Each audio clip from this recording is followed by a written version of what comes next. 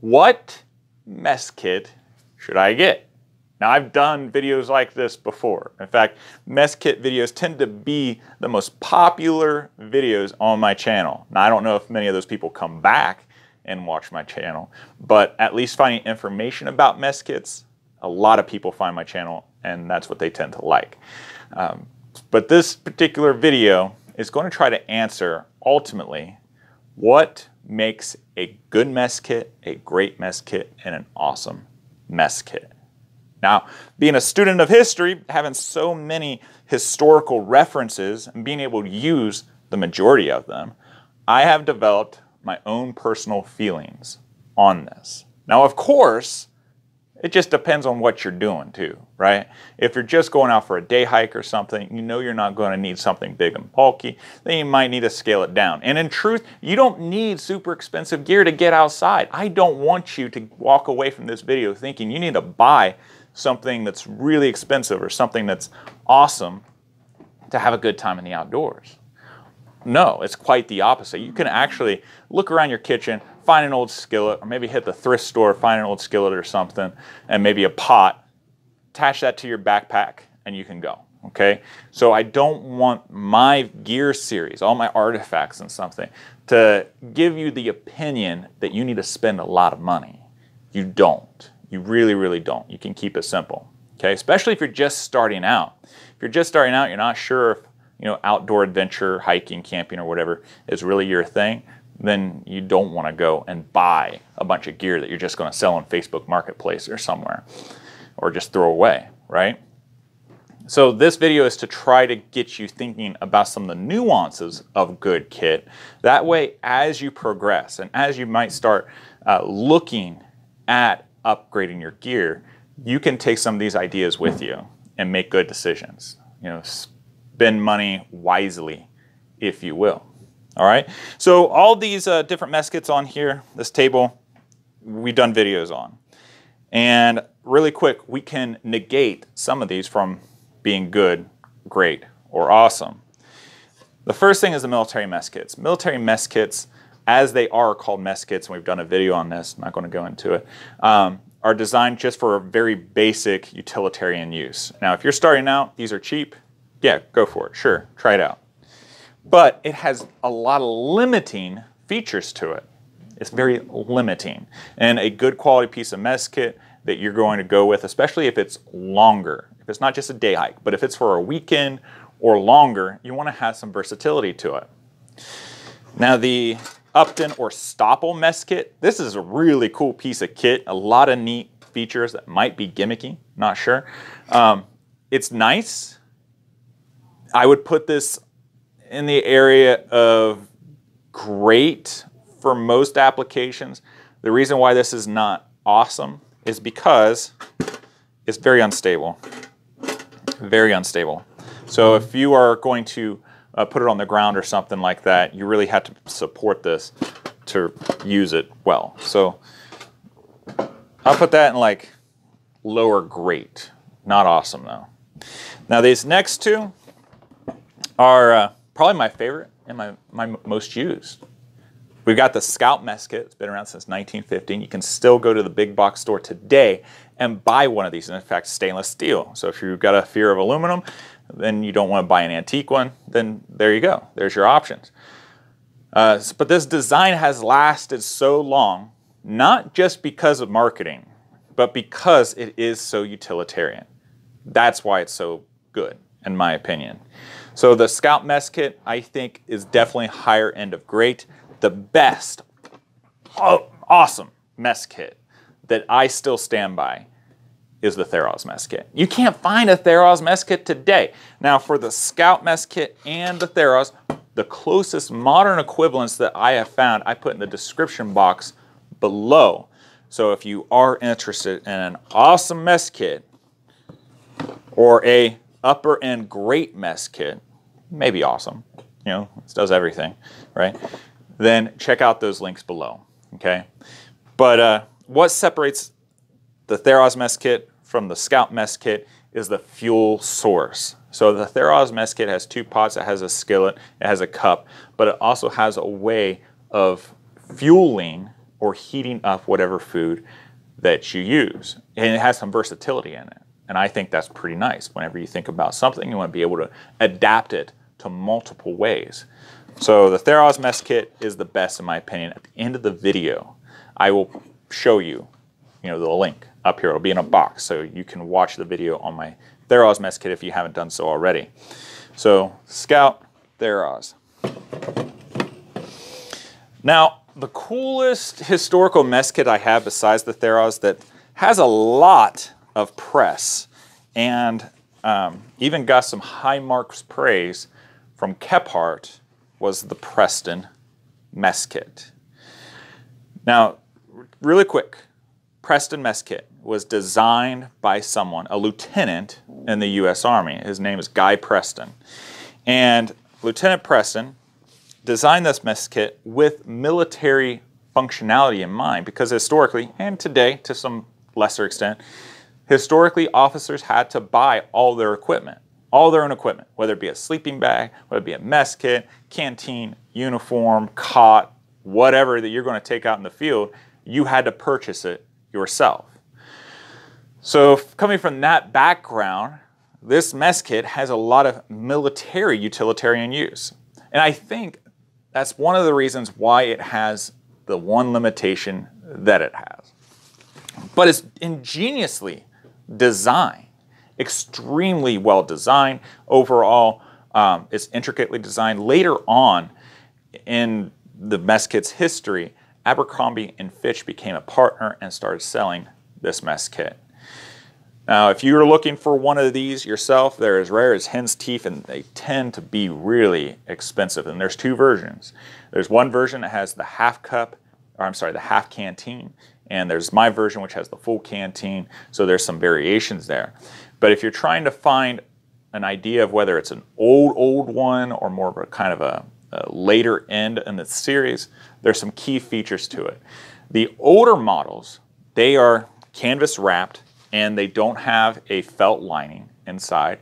They just have a plain cork, and they have the uh, the hooks, the quick release hooks, like what you would find on a boot, instead of snaps.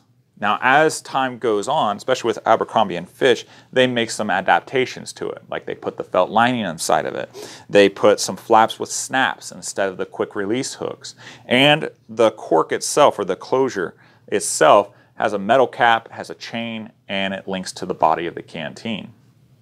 Okay, so this one here, I'm thinking is late 1800s, maybe early 1900s. The patent was designed in 1895, but it got approved in 1896.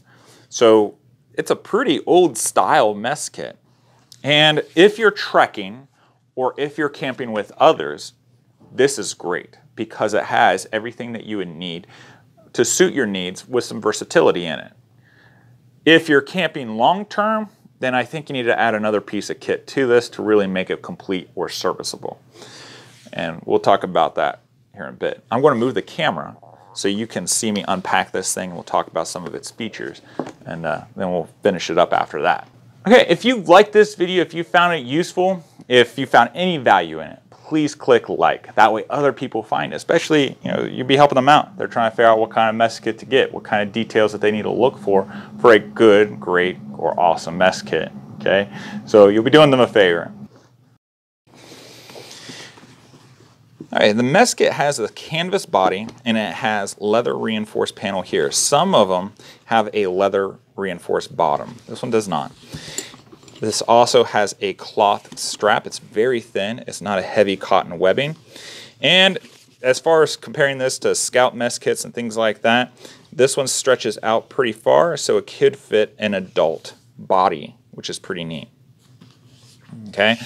Um, it has this hook here. Now this hook is a common feature that you would find on military equipment in the late 1800s, early 1900s. You could attach this to your belt or you could attach this to a saddle ring. So that's pretty handy, especially if you're thinking about military application.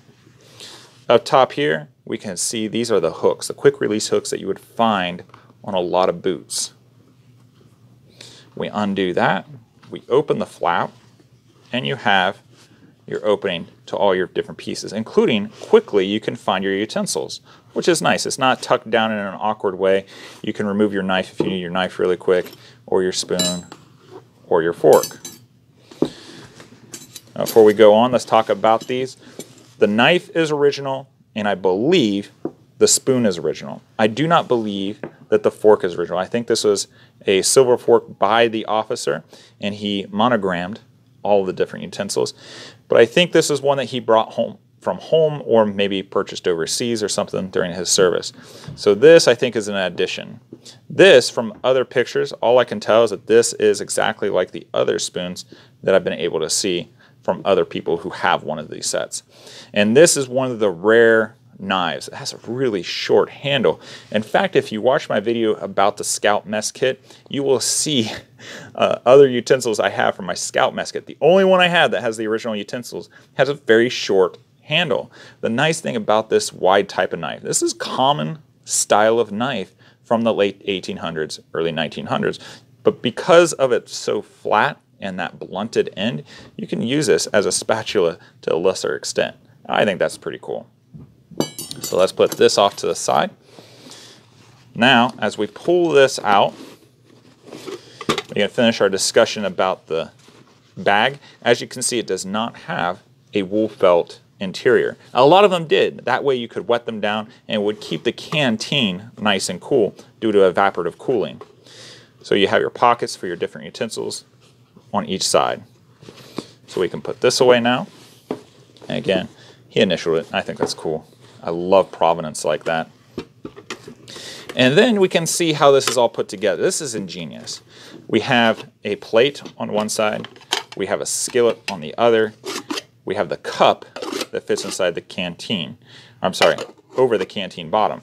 Uh, there is a second version of this mess kit. Coalcracker Bushcraft has one of these himself, but he has the half canteen. He did a good job of describing his set. So after this video and maybe the Theroz video, you can go over and check out Coalcracker if you want to see the, uh, the different version of this.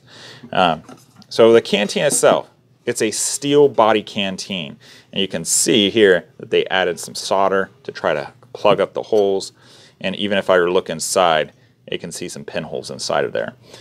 But this is one of the older types because it doesn't have that metal cap and there's nothing on the canteen itself that signifies that it had a chain attached to it like some of the newer canteens. So this is definitely one of the earliest versions that was sold. And as a historian, you look for features like that just to give you some clues because often you have no idea what time a lot of this equipment was really made. And as time goes on, there's always variations. Next thing, we'll talk about the cup.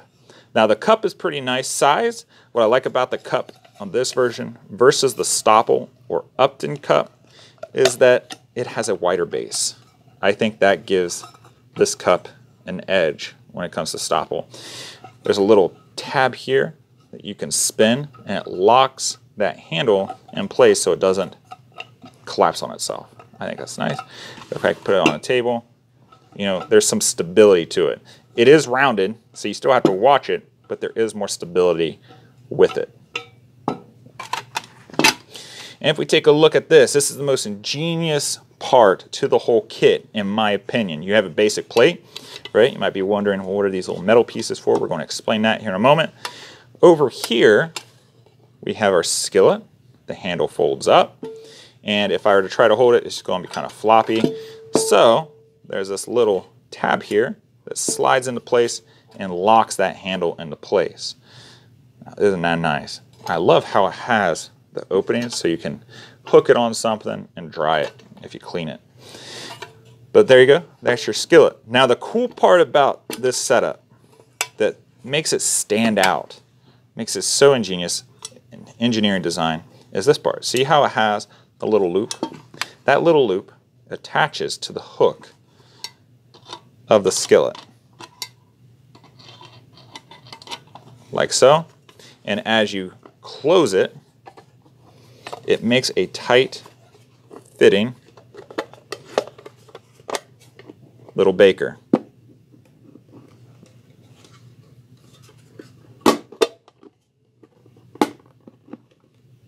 just like so. So you could use this to bake something in, like a Dutch oven. You can put your biscuits in there or some bread.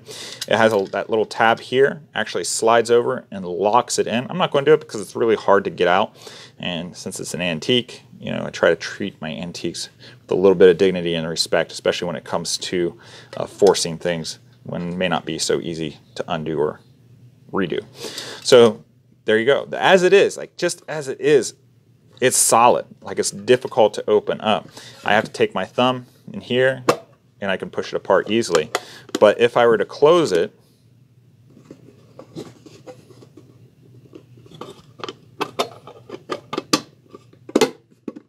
like so, then it stays by itself. So after you get done cooking or something, say you have some leftovers or maybe you want to take a ration of something, you can use this as a container for your ration. Put that in your backpack and you can go. And then when you're ready to cook, you take it out and you've got your food already stored in there. So you have yourself a nice extra container. I think that's pretty cool. That is a nice selling point to me. And then you can, of course, pack your canteen, everything, put it all back in your bag, and this would be separate. Now, we have to answer the question. So what makes an awesome mess kit awesome? Now, in my opinion, you have two things. You have versatility, and you have to have stability. You know, when we're camping, we're outdoors and stuff, we have to think about stability.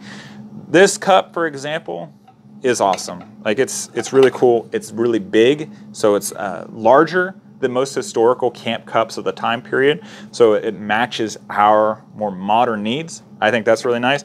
But putting on the ground, sure, it's more stable than the Upton or Stoppel mess kit, but it's not great. Like it's, it's because of the rounded edges and everything. You put that on the ground and you might spill your coffee. And that would be very unfortunate, especially if you start putting a, it full of water, soup, or something like that. Now, versatility, yes, especially this. This is a really cool feature. This makes this mess kit higher end versatile, but not having a lid, not having a lid for a pot or a separate pot, I think makes this great. Not awesome. It makes it great. Unlike the two other mess kits, where you have the Scout mess kit, which again, you can find a modern Scout mess kit at your big box store or in the link below in the description. And it has your skillet, it has your plate, has your bowl or pot with a tight fitting lid, and it has a cup. And the older mess kits even came with silverware, you know, your utensils, which I think that's a bonus. And then you have your Theroz mess kit. This is the best. I still stand by this, that this is the best mess kit that was ever designed, especially historically. I don't know why this thing did not continue to do well. Because it has two pots, it has a cup, it has a skillet, has a handle for the skillet that you can use for a spoon, and it has a way to contain your fuel source. I think that's genius. And I put a link below for the most modern equivalent that I found for this type of mess kit. It'd be really cool if I could get this thing reproduced someday, but my gosh, is the cost so expensive. So below, check out those two links, go to your big box store, get this. Again, you don't need something like any of this if you're just starting out. Grab something from your kitchen, see if you actually like spending time outdoors and cooking outdoors. If you don't, you don't want to get into all this. It's a lot of extra costs that you don't necessarily need to accrue to have a good time outdoors. All right. I my scouts especially, I always tell them young kids, you know, hey, if you want to get outdoors, just get outdoors. Don't let you know equipment stop you from going outdoors. In fact, this is my mantra for this year. Just get outside.